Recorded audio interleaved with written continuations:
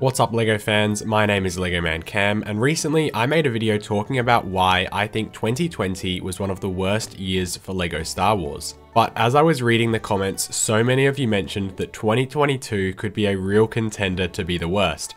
So let's look at all the sets from the year and see for ourselves. I'll be giving each set a score out of 10 and getting the average at the end of the video to give this year an overall rating on where it stacks up against the previous years we've looked at. With that being said, let's jump straight into it and we've got two of these little minifigure blister packs that were exclusive to the LEGO store. The first of which was the Defense of Hoth. This one came with three Rebel Troopers, which look kind of cool, but aren't super desirable. The builds were actually kind of nice, uh, if I'm being honest with you. You get two cannon builds and then a larger dish turret, which you can put your minifigures on. And then the other figure pack was the one that everyone was really excited for. This was the Clone Trooper Command Station. It was a great way to get two regular Phase 1 clones, and then also get everyone's favorite, the classic Clone Commander, who also doubles as the pilot of the ship. From the iconic Republic gunship. Uh, a set from the original trilogy. The builds are again really nice and I love getting the little command station. These sets were both pretty solid honestly, but I just wish that they were regularly released retail sets so that everyone could buy them. So I'm going to give these a 7 out of 10. Next up, we've got the actual battle pack from the year. This is the Snowtrooper battle pack. This one has been said to be specifically designed to give everyone a heap of snowtroopers to load into the UCS AT-AT from the year prior. It's a decent selection of builds in this battle pack. You get a speeder, an E-web, and then a little mound of snow. And this was the first $20 battle pack at the time, so that definitely caused a lot of controversy. But I think if you compare this to something like the Mandalorian Battle Pack from this year, you actually get a lot more variety in the builds in this older set. It's not a super battle pack by any means, but it is decent enough, and I'm glad that it gave us that exclusive Hoth Scout Trooper minifigure, so I'll give this one a 7 out of 10 as well. Now we have the one microfighter from the year, this is the Mandalorian Razor Crest. This one was inevitably going to happen as the show was doing really well at the time and probably it's the most popular piece of Star Wars media that we've gotten recently. This was a really nice cheap way to get the updated Mando minifigure as well, um, and there's not a whole lot to say here. This one is about a 6 out of 10. To add to the Hoth collection, we got our first ever Hoth AT-ST.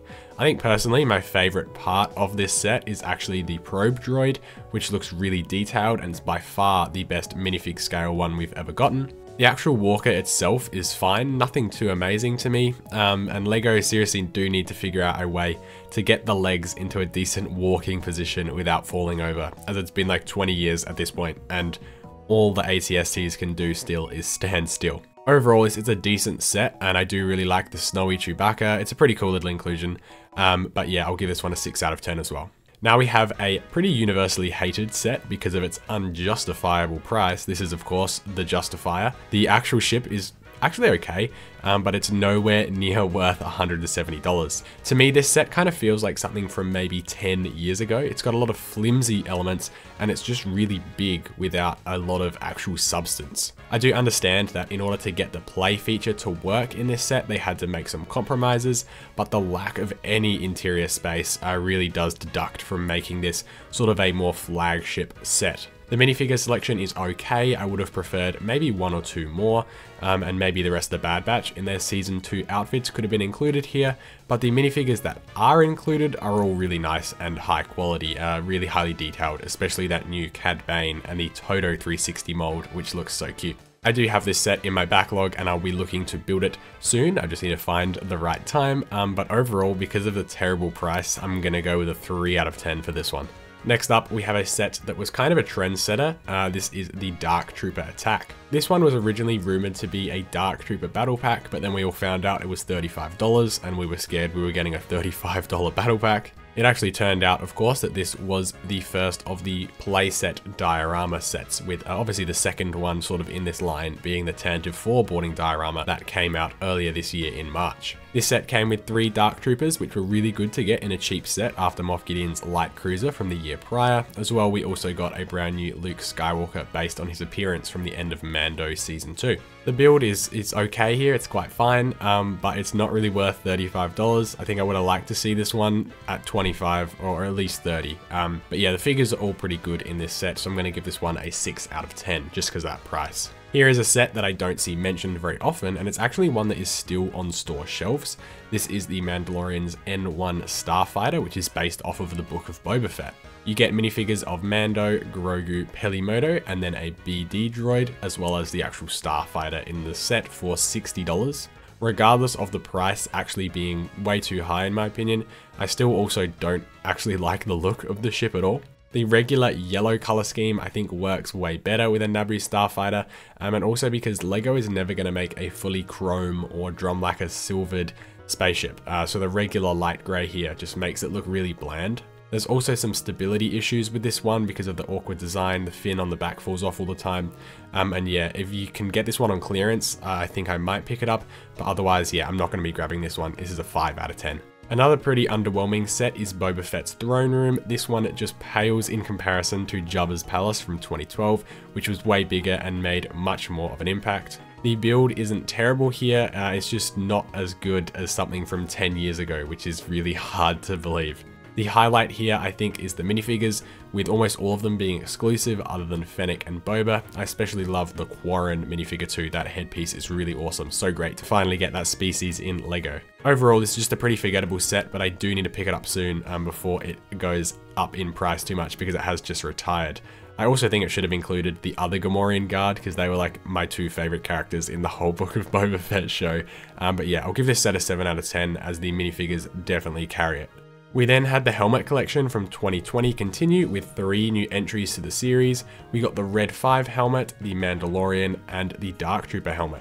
I like the look of all of these to be honest. Um, I think it's pretty fascinating how the Red 5 helmet goes together because it doesn't actually have like a head or a base to be built around. But again, it does then kind of make it stick out and stand out from the rest of the collection. The Mandalorian helmet is somewhat of a reskin of the Book of Boba Fett one from 2020, but I think the drum lacquered silver works really nicely here uh, to sort of give it a better look. Uh, also the cheek design adds some nice depth, I think, to the model. The Dark Trooper is my least favorite here. I think it is quite stud heavy on the top, uh, and I don't think it blends well with kind of the curved and then smoothed off surfaces of the bottom section of the build. The red eyes are nice, I think that does make it look really menacing. I'm just not sure why out of all the Star Wars characters and helmets they chose to make a Dark Trooper, which only appears in like a couple of episodes of The Mandalorian. Overall, I think these three are kind of decent helmets, and they're just not my favorites of the line by any means, so I'll give these ones an average of 7 out of 10 as well. Now that we're about halfway through the video, if you are enjoying, please feel free to leave a like and subscribe. We're so close to 2,000 subscribers, and every bit of support really helps. There were then three diorama sets that were released this year too, kicking off the line. All three were based on the original trilogy. You had the micro-scale Death Star trench run, which was a pretty boring set in my opinion. It does look nice, it's just not for me, I'm not a fan of micro scale. You then had two minifigure compatible sets, which were the Dagobah Training and the Trash Compactor. The Dagobah Training looks really nice to me, it's just expensive for what you actually get. I know it does have a good price per piece ratio, but then when you do think about just a few years ago, we got a Yoda's Hut set for a third of this price, it does kind of make you think. The X-Wing in the swamp also does look kind of cool to me, um, and then like the muddy R2-D2 looks really awesome. The Trash Compactor diorama is a little bit more plain than the Dagobah one. It does look like the scene, don't get me wrong, but it's just that the scene was a muddy grey and brown box, so it's just not the most visually appealing thing in the world. The compacting feature is done really well though, I like how that goes together, and I love the inclusion of R2 and C-3PO around the back. I'm going to give all three of these dioramas combined a 7 out of 10 as well. One of the two UCS sets from the year was the Razor Crest, um, to just add to the insane amount of Mandalorian content that we were getting. This is a $600 UCS set, and I can't help but think that they could have gone smaller for this one. Sure, this does look really nice, um, and it's not a terrible price by any means for a UCS set, but it is just really expensive at the end of the day. Not many people have $600 lying around. The figures are pretty cool here as well, um, like the Mythrol and Kuiil look really awesome, even though Kuiil's head, I don't know, looks kind of stretched out. But again, LEGO just needs to kind of make up their mind with what they're doing with making exclusive UCS minifigures. I don't really care whether they want to do them or don't want to do them, I just want it to be consistent so that people know what they're getting into. It's a little unfortunate that the ship got blown up uh, actually in the show just before the set came out, but it is a really nice design and if I had the space or the money for it, I would totally buy it. So I'm going to give this one an 8 out of 10. This one is a 0 out of 10, I have nothing else to say. Obi-Wan's Jedi Starfighter is a decent looking set and at $30 it doesn't feel too overpriced. I love the minifigure selection in this one too, getting a Taun We is an amazing figure and then the updated Obi-Wan Kenobi looks really awesome too, as well as R4 is just a regular inclusion. The stud shooters don't bug me too much, so I'll give this one a 9 out of 10.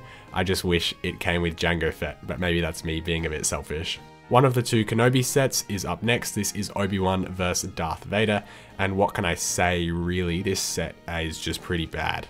Ned B, the droid, is by far the best part of this set.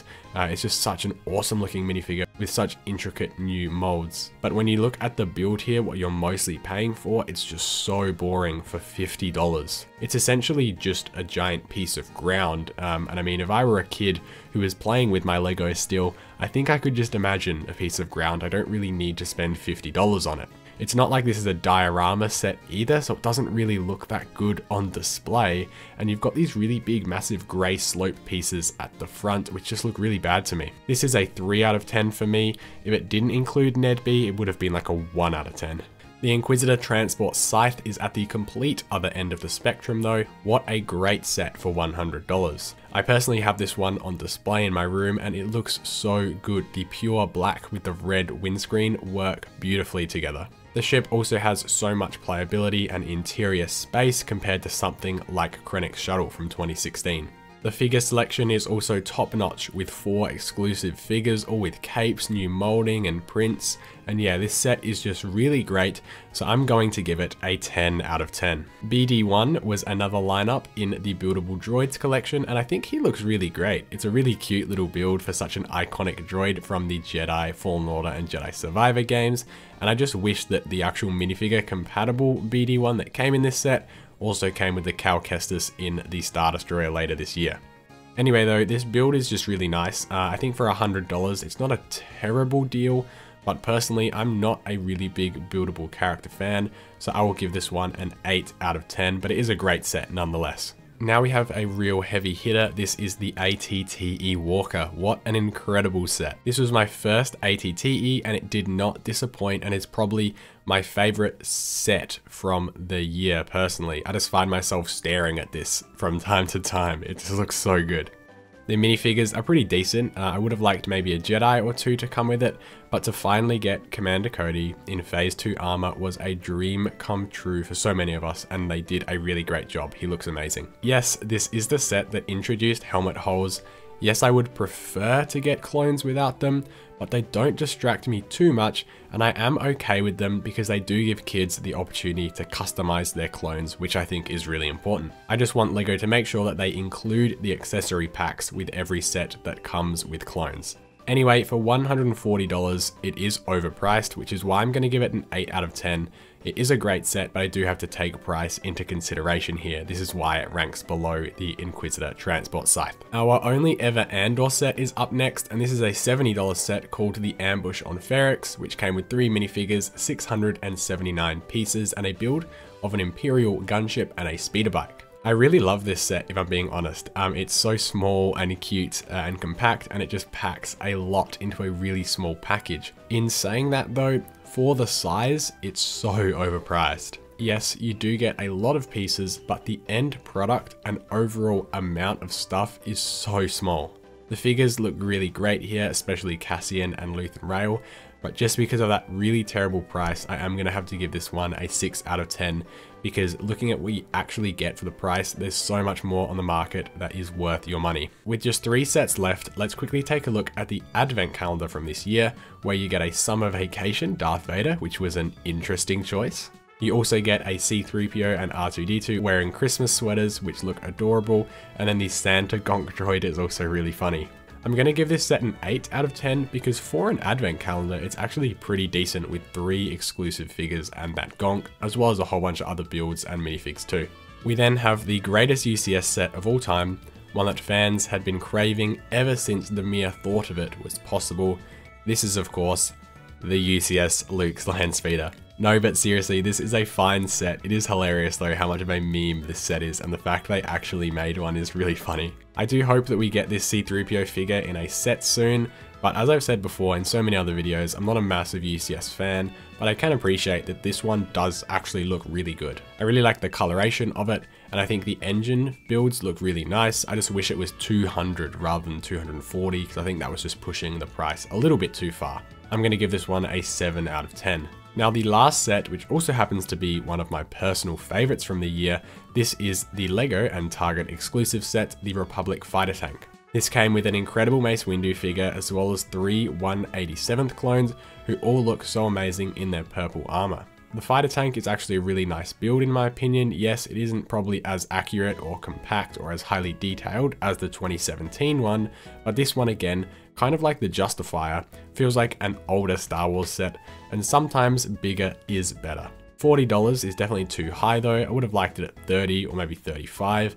Overall, I'm going to give this one a 9 out of 10 though, because regardless of that high price, it's still just a really cool set. So that's it for 2022 with all the scores added up we have a score of 6.5 out of 10. Now I have gone back and worked out the scores for every other year that I've looked at and 2022 comes in at the bottom in last spot just barely behind 2020 which is at 6.6. If you've got a year that you would like me to look at leave a comment down below and make sure to like and subscribe and I'll see you in the next one.